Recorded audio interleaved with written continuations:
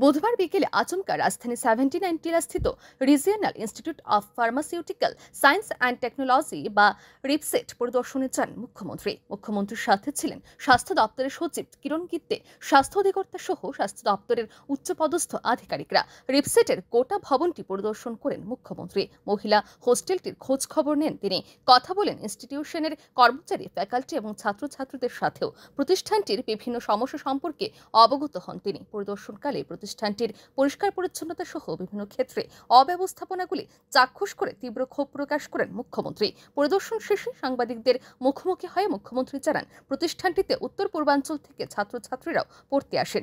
বেশ কিছু ক্ষেত্রে খামতি রয়েছে বলে জানান তিনি। তবে বেশিরভাগই নিয়মিত পরিচর্যার অভাবে হচ্ছে বলে জানান তিনি। মুখ্যমন্ত্রী জানান, প্রশাসনিক বিষয়গুলি ঠিকঠাকভাবেই চলছে, তবে পরিকাঠামোগত কিছু সমস্যা রয়েছে। এই সমস্যা দূরীকরণে উদ্যোগ গ্রহণ করা হবে। ফ্যাকাল্টির ঘাটতি পূরণেও জোর দেওয়া হবে বলে জানান মুখ্যমন্ত্রী প্রফেসর ডক্টর মানিক সাহা। আমরা জানি যে এখান থেকে B pharma D pharma M pharma এবং অনেক এখানে হোমিওপ্যাথিক, আয়ুর্বেদিকের কোর্সও এখানে আছে। তো এত বড় একটা ইনস্টিটিউট নর্থ ইস্ট থেকে প্রায় ফিফটি পার্সেন্টের উপর লোক আসে এখানে। তাদের হোস্টেলেরও মেয়েদের তো হোস্টেল এখানে আছে, দেখলাম। ফ্যাকাল্টির প্রবলেম আছে। তো ফ্যাকাল্টির উপর জোর দেবো আমরা। কারণ খালি করলেই হবে না। করার পরে এগুলো দেখভাল করাটাও ইম্পর্ট্যান্ট আমি ওই দিকটার দিকে খুব নজর দিই। আমি এই কারণেই যাচ্ছি সব জায়গায়। শুধু দেখভালের জন্য সরকারি কাজ অনেক সময় মনে করে যে দায় মানে করার আছে করা।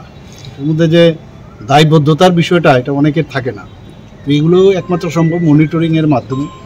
এবং আমরা সেই দিকে আমরা চিন্তা ভাবনা করছি, কি কি সমস্যা।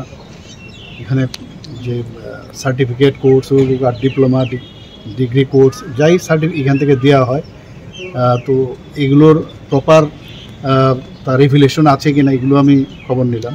তো ওইগুলো ঠিক আছে, খালি ইনফ্রাস্ট্রাকচারালি একটু প্রবলেম আছে ফ্যাকাল্টির প্রবলেম আছে, এগুলো আমরা দেখি এর আগে বুধবার দুপুরে রেন্টার্স কলোনিস্থিত নেতাজি সুভাষ স্টেট হোমিওপ্যাথিক হাসপাতাল পরিদর্শন করেন মুখ্যমন্ত্রী। হাসপাতালটির ব্যবস্থাপনা খতিয়ে দেখেন তিনি। এদিন হোমিওপ্যাথিক হাসপাতালের সাথে প্রস্তাবিত আয়ুর্বেদিক মেডিকেল কলেজ এবং হোমিওপ্যাথিক মেডিকেল কলেজের স্থানটিও প্রত্যক্ষ করেন মুখ্যমন্ত্রী। রিপোর্ট আর ই নিউজ